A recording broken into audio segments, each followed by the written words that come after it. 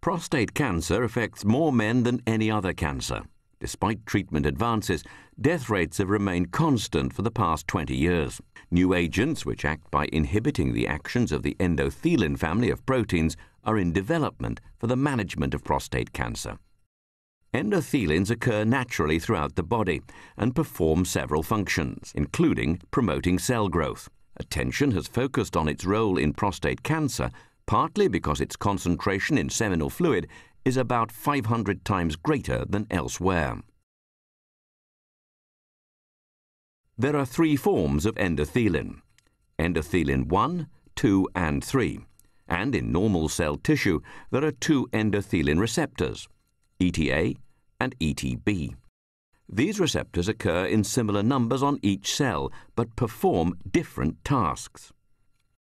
In normal cell activity, the different endothelins are free to bind with either receptor.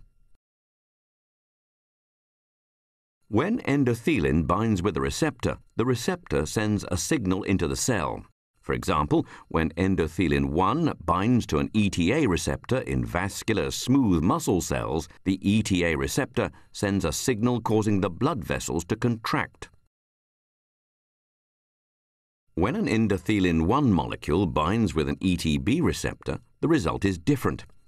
The receptor will again release a signal, but this time it causes blood vessels to dilate rather than constrict. However, this is not the only difference. When endothelin binds to an ETB receptor, the two molecules are taken into the cell itself, and once the endothelin has been internalized, it is no longer present in the circulation.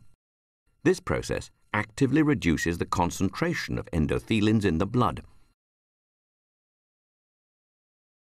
So, how does endothelin behave in cancerous cells, such as those in a prostate tumour? First, the effect of stimulating each type of receptor is different. Binding to ETA in cancer cells causes growth or aids cell survival, while binding to ETB acts as one of the triggers for apoptosis or programmed cell death. Secondly, in comparison to a normal cell, a cancerous cell has far fewer ETB receptors. This downregulation of ETB receptors appears to be part of the disease process. The result is that these cancerous cells grow more and live longer than they should because they miss out on the apoptosis triggering signal that ETB should have supplied, but still receive the growth signal via ETA. Because endothelin promotes cell growth, treatments are being developed that try to stop cancerous cells growing by preventing endothelin binding with receptors on the cells. Inhibitor drugs bind with the receptor and prevent endothelin exerting its normal effect. Most of these treatments are endothelin selective, in that they tend to have a preference for binding to either ETA or ETB. But if present in a high concentration, they will bind to both. There are two risks with inhibiting both receptors. Firstly, these drugs inhibit the positive outcome of binding with ETB because they block the process of apoptosis. Inhibiting ETA may have slowed the cancer's growth, but cells in the tumour are still alive.